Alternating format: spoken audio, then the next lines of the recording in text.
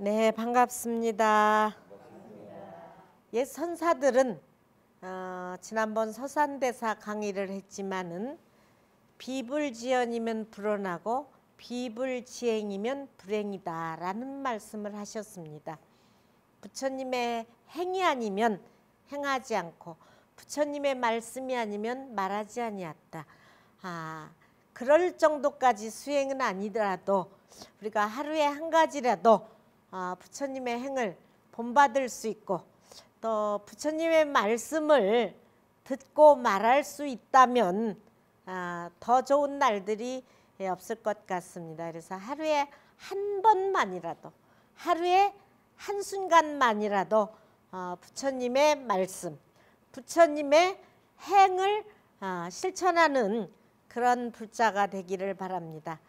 아, 지난 시간 앙굴리마라에 대해서 어, 말씀을 드렸습니다만 앙굴리 마라가 부처님의 에, 설법을 듣고 살인자가 비구가 되면서 어, 많은 사람들이 그 앙굴리 마라를 비난할 때 사실은 부처님께서 어, 굉장히 에, 그 살인자를 편안하게 가르침을 주십니다. 앙굴리 마라가 부처님께 그런 말씀을 합니다. 부처님, 저는 원래는 남을 해치지 않는다는 뜻에서 아함 음, 사카라는 이름을 가졌으면서도 어리석은 탓으로 많은 생명을 죽였습니다. 그리고 씻어도 씻기지 않는 피 묻은 손가락을 모았기 때문에 앙굴리 말라라는 이름을 얻었습니다. 그러나 이제는 부처님께 기하여 깨달음을 얻었습니다. 소나 말을 다루려면 채찍을 쓰고 코끼리를 길들이려면 갈고리를 씁니다. 그런데 부처님께서는 채찍도 갈고리도 쓰지 않으시고 흉악한 제 마음을 다스려 주셨습니다. 저는 오늘 악의 가품을 받았고 바른 법을 들어 청정한 지혜의 눈을 떴으며 참는 마음을 닦아 다시는 다투지 않을 것입니다. 부처님 저는 이제 살기도 원치 않고 죽기도 바라지 않습니다. 다만 때가 오기를 기다려 열반에 들고 싶을 뿐입니다. 아, 앙굴리 마라 이야기를 다시 하는 것은 아, 우리가 천수경 가운데도 늘 독성하는 재무자성 종심기 심양멸시 제영망 제망신멸 양구공 시증명의 진참에다 이 대목과 아, 여러분들이 부합하는 내용이라서 그럽니다. 우리가 전생에 지은 정말 이 시간 전까지 알지 못해서 지었던 지는 죄는 늘 말씀드리듯이 어둠이었다면 지금 불을 밝히는 순간 이 순간은 다 환한 곳이 됩니다. 그래서 지금부터 불을 밝히고 사는 삶이 되어야 된다라는 거. 그래서 죄라는 것은 본래 내 마음에 없어. 재무자성중 마음 따라 일어났던 것인데 마음 한번 멸하게 되면은 예? 심량멸시 제욕망이야. 죄도 따라 멸하게 된다 그런 얘기예요. 그래서 우리가 아, 제망신멸 양구공 이게 시증명의 진참회 진짜로 참된 참회라 했습니다. 아, 이, 여러분들이 참회 많이 하죠. 근데 그러한 참회는 날로 날로 나를 밝게 쓰는 것. 아, 부처님의 바, 법을 바르게 깨닫는 것입니다. 이렇게 앙굴리마라를 기의시키고 부처님께서는 이제 아주 한참 만에 카빌라성에 돌아가십니다. 이미 어, 빈비사라 왕도 부처님을 만났고 많은 사람들이 부처님께 기에서 출가했고 그렇기 때문에 정반왕 슈도다나 왕은 이미 우리 아드님이 부처님이 되셨고 많은 사람들이 기하는 그런 훌륭한 부처님이신데도 불구하고 고국에 한번 돌아왔으면 좋겠는데 하고 많이 바라고 있었어요. 늦게 이미 벌써 어, 서가모니 부처님 어, 시달태자를 낳았고 이미 연, 연로하셔. 아 부처님이 우리 성에 가비라 성에 한번 오셨으면 하고 어, 바라고 많은 사람들을 부처님께 가서 한번 오시라고 하라고 보냅니다. 근데 가면 안 오는 거야. 부처님을 뵙게 되면 그 자리에서 그냥 출가를 해버리는 거야. 우리 전에 에, 일타 스님 가족이 그랬다라는 얘기 들었죠? 어, 말하자면 한 사람이 데리러 가서는 출가하고 또 한 사람이 데리러 가서 출가하듯이 부처님이신데 오죽하시겠어요. 그래서 석가족들이 부처님을 가서 이제 빨리 모시고 와라 그러고는 보내면은 출가해서 안 오고 출가해서 안 오는 거예요. 그때 이제 에, 부처님의 제일 그 우다인이라는 사람이 부처님을 만나러 가게 됩니다. 그 이제 우다인이 자기도 그동안 간 사람들이 안 돌아오는 거를 알고 아 제가 만약에 출가해도 반드시 에, 부처님을 에, 모시고 올 수 있도록 그렇게 하겠습니다. 마음으로 그렇게 마음을 먹습니다. 그래서 어, 부왕한테 그런 말을 하고 부처님을 모시러 갑니다. 우다인이 다음과 같이 맹세하고 길을 떠났다. 제가 부처님을 만나 혹시 출가하게 되더라도 대왕의 간절하신 뜻을 꼭 전하여 모시고 오겠습니다. 그래서 이제 정말 그렇게 처음 생각했던 대로 부처님을 뵙자 그냥 출가의 마음을 내게 돼요. 어느 때나 이 부처님께 정반왕이 지금 기다리고 계시다고 얘기를 해야지 되나 그러다가 기회를 계속 그걸 잊지 않아요. 이제 수행하는 가운데에도 그래서 결국 부처님께 그런 말씀을 드립니다. 부처님 지금 카필라에서는 슈도다나 왕과 사카족들이 부처님의 오시기만을 고대하고 있습니다. 그들은 부처님의 가르침을 받고자 오래전부터 기다리고 있습니다. 곧 카필라로 가시는 것이 어떻겠습니까? 그래서 부처님이 의외로 금방 대답을 하십니다. 나도 벌써부터 그런 생각을 가지고 있었다. 이제는 그때가 되었나 보다. 그럼 떠날 준비를 하여라. 그래가지고 이제 부처님께서 가비라 성에 오시게 됩니다. 부처님이 가비라 성에 오시자 뭐 얼마나 이제 마파자 파티를 비롯해서 뭐 야소다라 비를 비롯해서 얼마나 많은 분들이 부처님을 그리워하고 어, 보고 싶어 했겠어요. 근데 부처님은 에, 바로 가서 만나지 않으시고 이제 궁중에 가서 어, 아슈카 아, 야수다라비 그리고 많은 나우라를 만나고서 이제 설법을 시작하게 되는데 에, 맨 먼저 어, 부처님의 사촌 난다. 아, 아마 가비라 이제 부처님이 설법 출가를 하시고 부처님의 사촌 난다가 이제 왕의 자리를 이어야지 되고 결혼을 해야지 되는데 난다를 부릅니다. 그래가지고 난다를 출가하게 만드는 거예요. 그 마침 결혼을 약속한 순달이라는 아가씨가 있었는데 그 난다를 꼬셔가지고 결혼을 약속한 아가씨를 두고 출가하라고 그러니 아, 난다가 난다. 너는 지금 눈앞에 보이는 여성의 아름다움에 사로잡혀 있구나. 너는 내 말대로 곧 출가하는 것이 좋겠다. 이렇게 해서 결국 난다를 출가시킵니다. 그래서 형님인 부처님의 뜻을 어기지 못하고 출가를 하게 되는데 출가를 했어도 순다리가 내 그리운 거야 자기가 이제 결혼할 그러니까 부처님이 어느 날 그 난다를 불러서 이런 비유를 하십니다. 이 원숭이를 한 마리 난다에게 보여주면서 이 암 원숭이와 너의 순다리를 비교하면 어느 편이 더 아름다우냐? 뭐 우리가 생각해도 원숭이보다 순다리가 얼마나 아름답겠어요. 그러니까 순다리가 말할 것도 없이 순다리가 아름답습니다. 그래. 조금 있다가 천상에 아주 그 신통력으로 굉장히 아름다운 어, 선녀를 보이십니다. 야, 이 선녀와 순다리를 비교하면 어떠냐? 그 이번에도 난다는 입을 담채 아무 말도 하지 못해 순다리보다는 선녀가 너무나도 예뻐가지고 그래서 난다는 이렇게 에, 그러한 네가 예쁘다고 하는 그 순다리는 선녀에 비하면 아무것도 아니야. 너는 수행을 해서 아, 하게 되면 이 천상에도 날 수 있고 이런 많은 이야기를 하게 됩니다. 그래서 결국 난다가 출가를 하게 됩니다.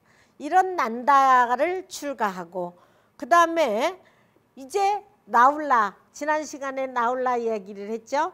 부처님의 에, 그 나울라가 아, 아버지 부처님이에요. 얼마나 막 당당하고 자랑스럽고 또 가서 재롱도 피우고 싶고 어 잘할 때 아버지 보지도 못하고 그랬는데 그러니까 막 천방지축으로 다니면서 어, 합니다. 근데 12살 된 나우라를 데리고 와서 머리를 깎기라고 합니다. 그래서 음, 나울라마저도 출가를 시킵니다. 그래서 이때 부처님이 카필라에 돌아가 가지고 야소다라 동생인 난다와 또 나울라와 뭐 이런 전부 우바리 존자 이발사는 이미 출가를 했죠. 그래서 다 출가를 하게 됩니다.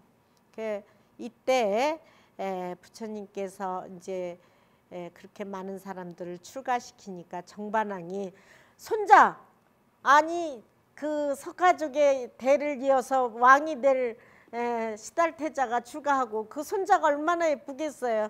그마저 출가를 시키니까 그때 부처님 그 정반왕이 부처님께 하나 청을 합니다. 부처님 어린 사람을 출가시킬 때는 꼭 부모의 허락을 받아가지고 어, 좀 출가를 하게 해달라고.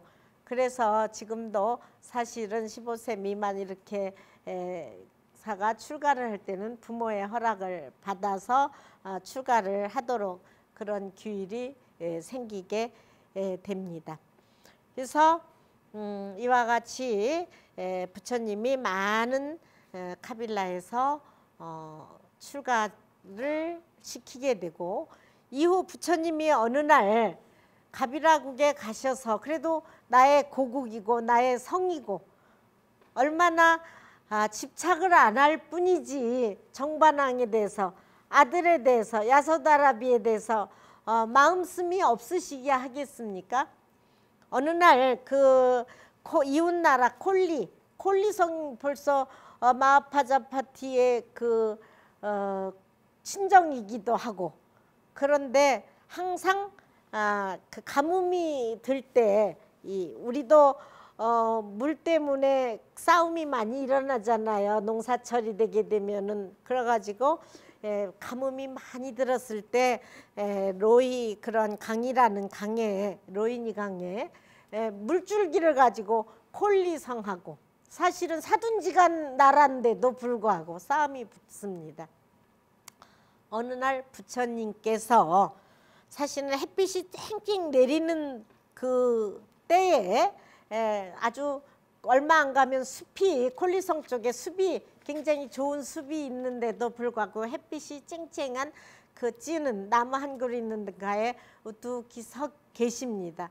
근데 어, 저쪽 콜리성에서 막 쳐들어 오려고 그러다가 부처님이 거기에 계신 거를 보고 이미 부처님은 마갈타국에서 부처님이 되셨다라는 걸 우리 에, 처음 출가할 때 제가 읊어드렸죠. 불생갑이라 부처님은 갑이라국에서 태어나갔고 성도 마갈타 설법 바라나 인멸굿이 나가라 이제 이런 소국들이 있는데 골리성도 하나의 사촌 이제 에, 사돈지간의 나라이기는 해도 그러한 물 때문에 싸움이 에, 생기게 되자 부처님이 에, 그 콜리성 에서도 부처님을 다 인정하고 각 나라에 이미 부처님이 출연하셨다라는 걸 다 알고 있고 근데 그 숲으로 콜리성 있는 숲으로 가지 않고 햇빛 있는 데에 서 계십니다. 그러자 부처님이 계시기 때문에 군대를 이끌고 쳐들어오려다가 차마 못 들어오는 거야. 그래서 이제 물러가고 물러가고 세 번째쯤 다시 쳐들어와 가지고 어, 그때는 부처님이 자리를 피하십니다. 이것은 과거 전생부터의 얽힌 업이라 도저히 나 혼자로서는 이걸 억지로 막아서는 언젠가는 또 원한이 될 것이다. 그래서 피하게 됨으로 해서 어, 갑이라는 나중에 결국 멸망을 하게 되죠. 뭐 부처님이 출가하고 아들 출가하고 또 뭐 전쟁과 살생과 이런 것을 준비하지 않은 나라이잖아요. 농업국이고 어, 이러한 때에 정반왕은 아, 점점점 노세에서 부처님이 에, 그렇게 에, 연세가 드셔가면서 또 정반왕은 노세에 이르게 됩니다. 근데 마침 정반왕이 에, 이제 죽게 될 때 부처님이 정반왕을 찾아뵙습니다. 그래서 어, 정반왕을 위로하는 대목이 있습니다.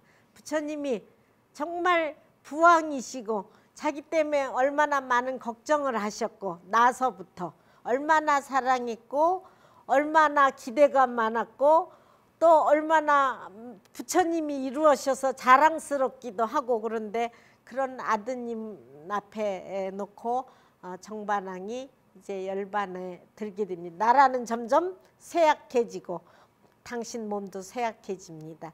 그때 부처님이 왕의 인종이 가까워 왔을 때 왕에게 나갑니다. 그래서 왕은 부처님의 마지막 설법을 스스로 청합니다. 아들이. 음, 저도 개인적으로 이렇게 에, 저희 어머니가 뭐 돌아가시게 된다라는 걸 일주일 전에 통보를 받고 어, 갔습니다. 제가 일주일 전에 가서 우리 어머님이 돌아가신 모습을 지켜보고 어, 개인적인 얘기긴 하지만 제가 출가를 해서 어, 막내 60 41살에 나서 제가 육, 우리 어머니 60 환갑이 다해 출가를 했으니까 눈물로 눈물로 보내셨다고 그래. 저는 뭐 출가해서 제 생활하느라고 몰랐는데 그래서 이제 에, 마지막 돌아가시게 됐다라고 그래서 어, 올라갔는데 이미 죽음을 당신이 다 마지막 준비를 하고 계시지만 에, 한 5년 동안은 제가 돌아오기를 굉장히 기다리고 계셨어요. 이제 언제든지 다시 돌아올 줄 알고 그런 뭐 어떤 때는 집에 내가 어쩌다 한번 가면은 뭐 다 옷 같은 거 감춰놓고 못 가게 이런 적도 있었는데 5년이 지나면서 단념을 하시더라고요. 그래서 그때부터는 이제 경어를 쓰시고 이제 스님의 예를 이제 에, 해주시더라고요. 그래서 이제 돌아가시기 전에 이제 한번 오셔서 사찰에 잠깐 머물시고 가셨는데 가시자 이제 에, 곧 돌아가시게 될 것 같아서 제가 계속 아미타경 연부를 하면서 이제 저도 그 임종하는 거를 지켜본 적이 있습니다만 에, 저는 이런 뭐 개인적인 그러한 얘기지만 부처님께서는 어떠하셨겠어요? 한 나라의 왕으로서 되실 분이었고 또 아버님이 부왕이셨고 아들 출가시켰고 정말 그런데 왕이 이미 부처님을 이제 보고 설법을 청하시는 거예요. 마지막. 그래서 부처님이 병석에 누워 있는 그러한 부왕의 손을 잡고 이렇게 말씀을 하십니다. 모든 근심을 푸시고 아무 일도 걱정하지 마십시오. 그리고 제가 지금까지 말씀한 법을 생각하시면서 마음을 평안히 가지십시오. 왕이 누워 있는 병석에는 부처님을 비롯하여 난다, 라울라, 아누라, 아난다와 같은 친족의 사문들이 모여 있었다. 늙은 임금은 이 같은 환경에서 옛날의 태자이고 지금의 성자인 부처님의 손을 꼭 쥔 채 마지막 설법을 듣고 조용히 예, 숨을 거두었다. 그래서 아, 부처님께서는 가비라에 돌아가셔서 음, 그러한 사촌들 둘 또 뭐 아란준자를 비롯해서 많은 친족들을 출가시키고 어, 마지막 당신 아버지의 임종을 지켜보면서 마지막 설법을 그 아버님을 위해서 해드립니다. 아, 이렇게 해서 아, 그 정반왕의 그러한 일생 또 어, 석가족의 길을 오늘 말씀을 드렸는데 에, 다음 시간에 여성들의 출가 아, 비구니가 생기게 된 그러한 내용을 가지고 또 강의를 하도록 하겠습니다. 우리도 언젠가는 임종을 맞이하게 되고 언젠가는 이 몸을 벗게 될 때 정말 걱정 없이 갈 수 있고 부처님의 법문을 들으면서 갈 수 있고 연부를 생각하며 갈 수 있는 그런 수행을 지금부터 조금씩 조금씩 해나가시면 아, 고맙겠습니다. 모두 행복하십시오.